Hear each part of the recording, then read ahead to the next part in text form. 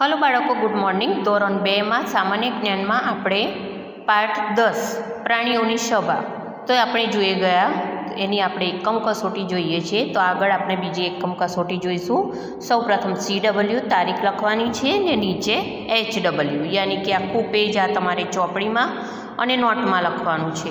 તો એકમ કસોટી પ્રશ્ન નંબર બે, ખરું કે ખોટું કરો? તો તમારે અહીંયા ખરા ખોટાની આવી રીતે નિશાની કરવાની છે.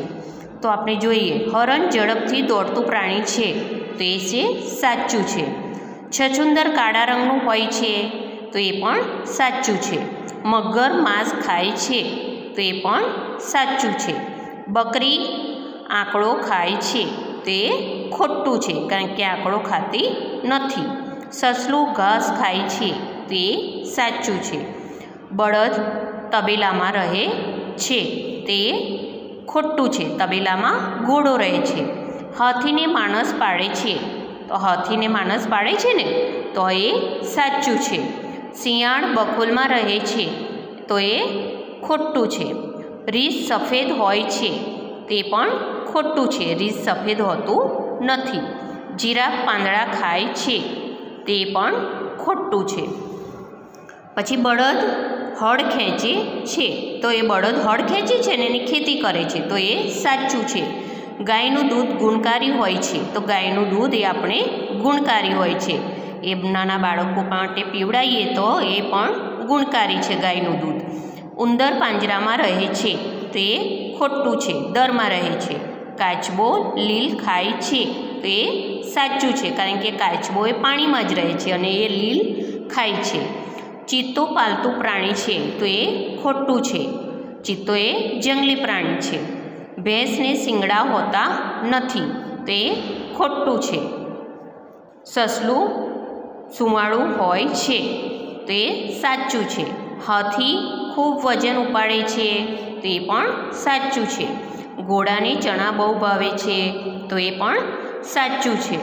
મગર પાણીમાં રહે છે તો એ પણ સાચું છે. તો આવી રીતે તમારે ખરા ખોટાની નિશાની કરવાની છે. હવે નીચે પ્રશ્ન નંબર ત્રણ. બંધ બેસતું નામ ન હોય તેના ઉપર ખોટું કરો. તો અહીં આગળ બંધ બેસતું નામ ના હોય તો એની ઉપર આપણે ખોટું કરવાનું છે.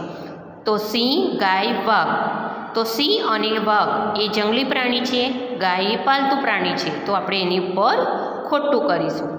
બકરી છછુંદર ઉંદર. તો આપણે બકરી ઉપર ખોટું કરીશું. હાથી, ઘોડો, બકરી.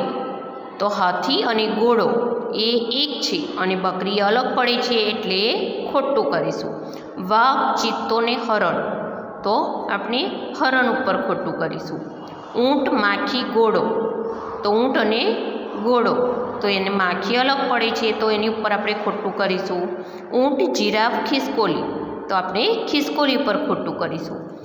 પછી બાજુમાં છે ભેંસ, વાઘ, બકરી. તો ભેંસ અને બકરી, એ પાલતું છે. વાઘ એ જંગલી પ્રાણી છે. તો આપણે એની ઉપર ખોટું કરીશું. કાચબો, ગરોળી, માખી. ગરોળી અને માખી કાચબો એ પાણીમાં રહે છે. તો આપણે ખોટું કરીશું. ઊંટ, જીરાફ, સાપ. તો ઊંટ અને જીરાફ એક છે. તો સાપની ઉપર આપણે ખોટું કરીશું. કાચબો, બિલાડી, શિયાળ. તો આપણે બિલાડી ઉપર ખોટું કરીશું. સસલું, વાઘ, બકરી. તો આપણે બકરી ઉપર ખોટું કરીશું. કૂતરો, ગાય, હાથી. તો કૂતરો અને ગાય. હાથી ઉપર આપણે ખોટું કરીશું. કારણ કે આ બે પાલતું છે. અને આ આ પણ પાલતું જ છે. પરંતુ હાથી એ અલગ પ્રાણી છે. અને આ કૂતરો, ગાય એ આપણે ઘરે પણ પાડી શકીએ છીએ. એવી રીતે પ્રશ્ન નંબર ચાર. નીચેના ચિત્રો ઓળખી તેના નામ લખો. તો અહીંયા ગાડી આપણને ચિત્ર આપેલા છે ચાર. તો એના નામ જોઈ પ્રાણીને ચિત્ર ઓળખીને એનું નામ તમારે નીચે લખવાનું છે. તો આ શું છે? જીરાફ. તો અહીંયા આપણે લખીશું જીરાફ. પછી છે શિયાળ. તો અહીંયા લખીશું આપણે શિયાળ. સિંહ. જંગલનો રાજા કોણ હોય છે? તો સિંહ. તો અહીંયા લખીશું આપણે સિંહ. અને વાંદરો. તો અહીંયા લખીશું આપણે વાંદરો.